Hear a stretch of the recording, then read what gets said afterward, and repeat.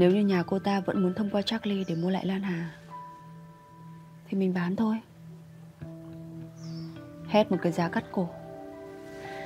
Dù sao, Thứ chúng mình cần vẫn là tiền mà. Không. Quan điểm của anh rất rõ ràng. Tiền nhiều, Đương nhiên là thích thật đấy.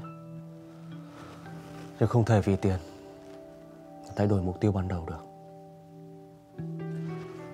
Với anh Lan Hà chính là sự trừng phạt cho lão trưởng Chúng ta không thể nào dễ dàng Trao lại như vậy được.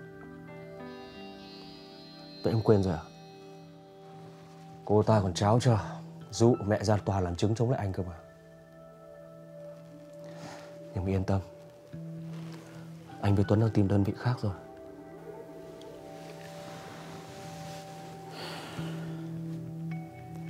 Anh cũng nên để ý Tây Tuấn đấy. Hắn ta không phải dạng vừa đâu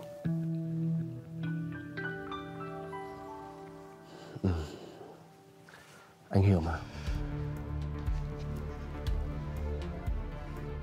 Alo Dạ anh ạ, em Tuấn đây. Dạ vâng, em gọi cho anh Long từ chiều đến giờ mà không thấy anh nghe máy ạ. Có chuyện gì thế hả Tuấn Dạ vâng, à, bên Lan Hà có thông tin mới. Em à, hôm trước thì tưởng là chốt bán rồi nhưng mà nay lại thôi. Thành ra là em hỏi ý kiến anh Long xem là có muốn thu mua lại nữa không ạ? À Vụ này thì cậu cũng cần lo. Cậu Nghĩa đã ngồi về xếp long hai hôm nay rồi mà. Nghĩa qua bên Đông Ba ấy ạ. Ừ Lúc ở đấy thì tôi thấy vụ này chắc cũng xong xuôi rồi. Cậu Nghĩa cậu nói thẳng là vụ này không cần qua trung gian lòng vòng làm cái gì cả. Trực tiếp cho nó dễ làm việc.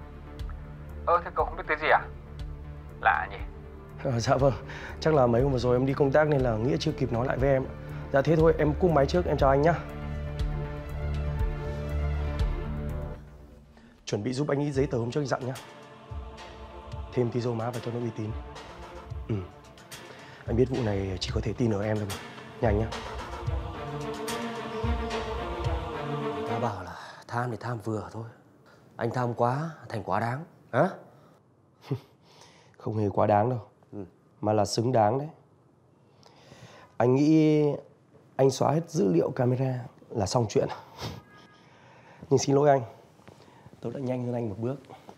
Anh đã chậm. À, Mời anh xem.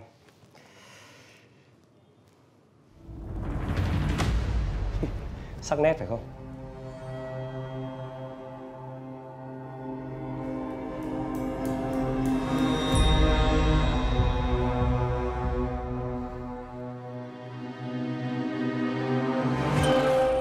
Mười phần trăm.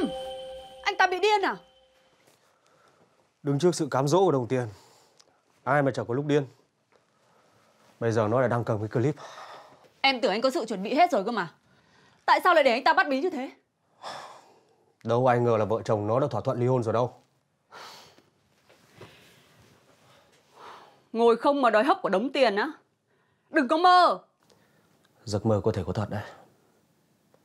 Khả năng phải mất khoản này Em không nghĩ là anh lại non tay như thế đấy.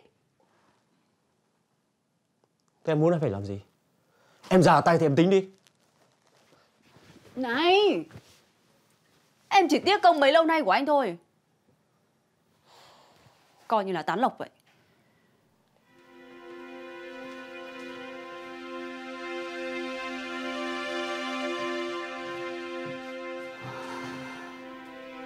Mười phần trăm á Hơi tham đấy Anh thử đàm phán lại xem thế nào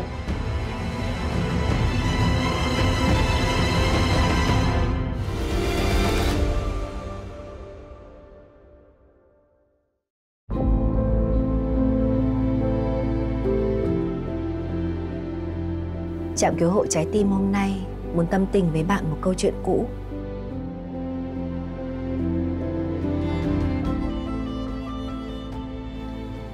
Ông trời đã bù đắp cho em một người chồng tuyệt vời. Và một người mẹ chồng tốt bụng luôn yêu thương em.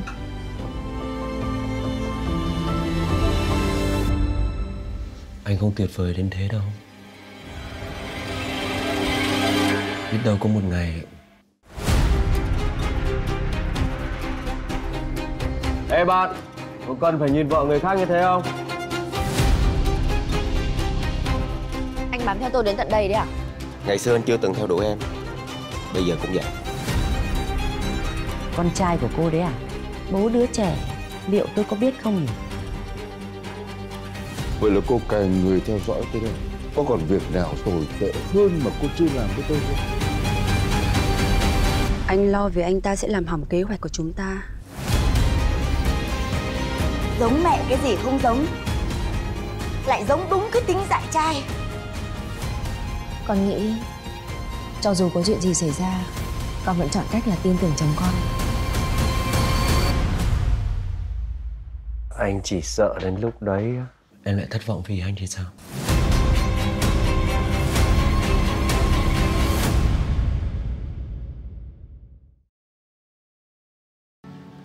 Đúng ra Anh phải cảm ơn em rất nhiều. Vì em đã dạy cho anh rất nhiều thứ Em dạy cho anh hiểu Tình yêu là như thế nào?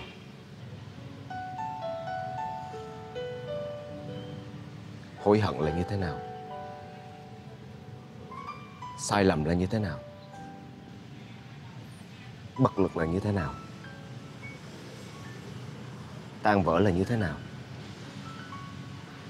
Và ngay cả khi anh muốn quan tâm lo lắng cho một người Mà họ không cần. Là như thế nào?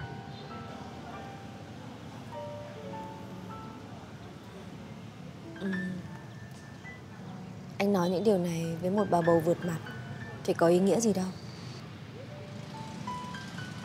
Em là người nhạy cảm mà. Nhất định á, Em sẽ biết lời nào của anh là thật Hay không?